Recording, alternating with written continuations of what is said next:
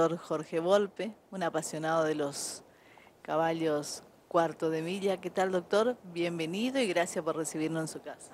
No, al revés. Bienvenidos a ustedes y como siempre lo digo, sin la prensa es imposible difundir el trabajo que hacemos nosotros y todos los creadores de caballos. Así que muchas gracias a los profesionales como ustedes y muchas gracias a ustedes especialmente que están hoy aquí en, mi casa. Pero ahora nos estamos preparando para el mes de diciembre, específicamente el 11 de diciembre, para la Sociedad Rural de Corrientes Capital. Lo que quería comentar es que es un remate muy especial. Es un remate especial porque hay dos remates en uno solo. Eh, prácticamente mm, seguimos llevando nuestros clásicos productos de trabajo para la gente correntina, como lo expliqué el año pasado, pero es un caballo de familia, muy amigable, eh, pero son los caballos clásicos nuestros. Mucho hueso, muy robustos, muy resistentes y muy amigables.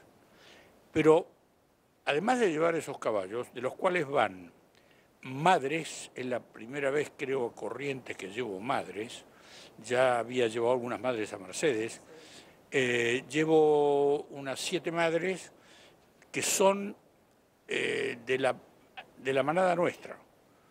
Eh, queremos aportar genética de primera y eh, estamos llevando todas las yugas preñadas y una incluso con potrillo. Después van un lote de potrancas de dos años, que son, desde el punto de vista mío, son de maravilla, unos, y unos padrillos. Eso es la parte de trabajo. Pero en ese remate, como yo decía, son dos remates en uno. Como nosotros criamos eh, caballos de carrera, estamos llevando por primera vez un lote de carrera, todos de unos pedigrees inmejorables, de tres generaciones y algunos con cuatro generaciones de padrillos nuestros, que tienen atrás Dafford Cass, Special Effort, Striking Seas, eh, y más atrás todavía, en algún bisabuelo, eh, tenemos algún descendiente de EasyJet. O sea que prácticamente tenemos el, top ten de una cierta generación, lo tenemos adentro. Y hemos continuado, eh, tenemos también, perdón, otro pedido que me olvidaba, es el de Dancer, eh, por vía de una madre y de First Down Dash por otra madre también compradas en Estados Unidos.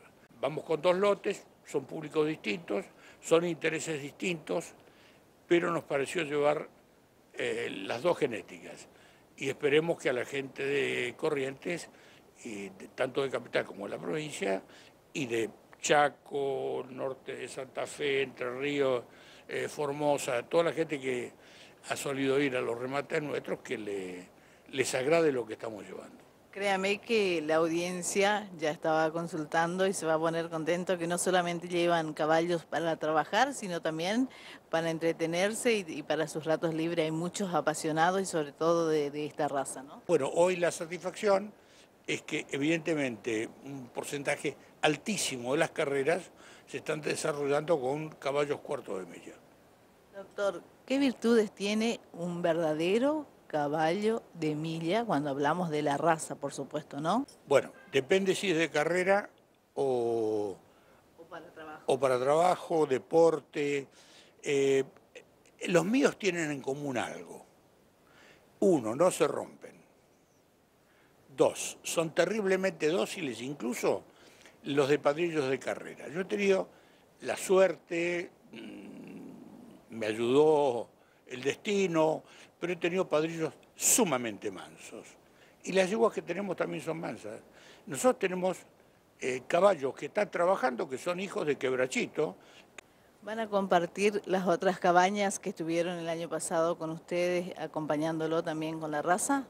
Sí, por supuesto. Eh, nosotros hemos invitado a tres, igual que el año pasado, que son Aguaí, histórico fundamental, y ustedes que son mercedinos, o mercedeños, ¿no?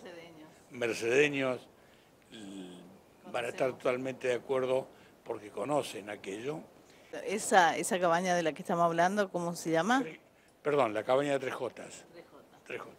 Bueno, el año pasado ya lo vimos, por supuesto.